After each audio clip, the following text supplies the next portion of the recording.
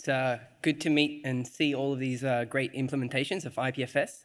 Uh, Daniel, I'm pretty new to uh, PL and uh, IPFS. I mean, I worked with it on the other side some years ago as a developer, and uh, now sort of coming onto this side as a developer advocate. Um, I have a, I guess, a fresh and naive perspective. And so the goal with Auspinner was to really um, learn about the IPFS stack, uh, the protocols, the specs, BitSwap, uh, some of the broader specs that we have in the ecosystem, like the pinning API spec and uh, the Go libraries, and to explore the space of trade-offs. Um, I think, uh, you know, uh, Dietrich's talk uh, demonstrated how we want to get IPFS into so many different runtimes, and, you know, it's always a game of trade-offs. Um, and so I wanted to get a better feel for that and maybe uh, be able to then bring that back to also the broader IPFS community. Um, and of course, I wanted to build something useful um, and explore this idea of like a short-lived light IPFS node, so something that sort of has a short lifetime. Um, and so to sort of move on into what actually Auspinner is, I think it's a good uh, starting point to start uh, with this question of uh, what do all of these have in common? Does anyone, can anyone guess, maybe? Yeah, something a bit more specific? Yes, pinning API server um, spec.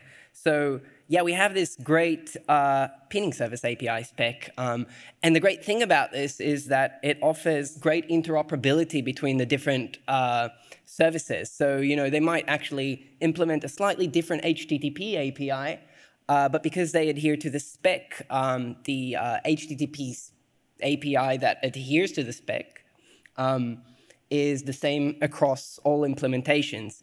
Um, and we have actually discovered that there's some deviations. There's uh, great work by Russell in actually checking the compliance of each of these services.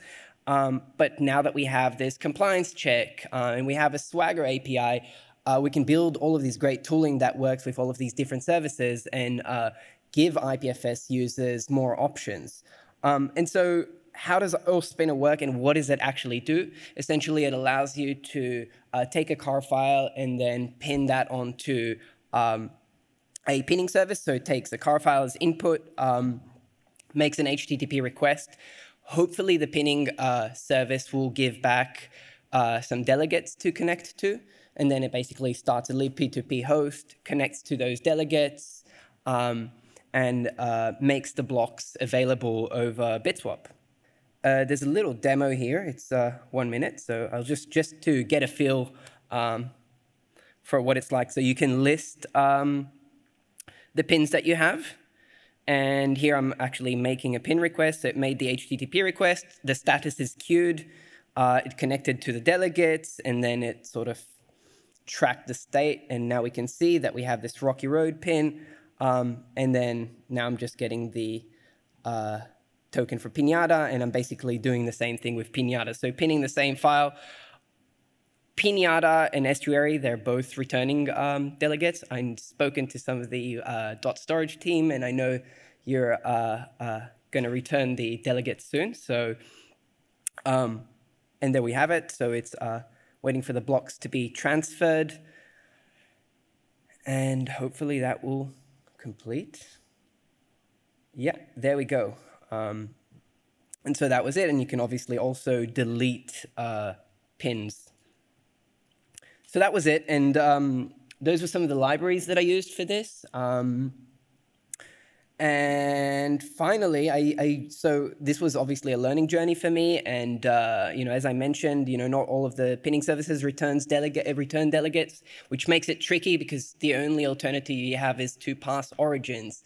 And if you have a short-lived Auspinner instance that just starts a new libp2p host, it's probably behind NAT or a firewall. So that means it's not uh, publicly reachable. So you have to do um, UPnP or you have to do hole punching with circuit relay. Um, and so I got uh, UPnP working, but then that sort of breaks this idea of this being a short-lived instance because, well, you have to wait for the router to give you, uh, uh, to do the port mapping. Another thing that was a bit tricky was tracking the pinning progress.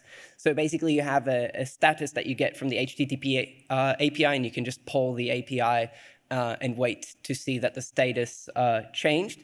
Um, that felt a bit coarse, but that's how it's doing it. Um, and if you're obviously doing a big file, then uh, you know that's not ideal because you can't know how far along you are.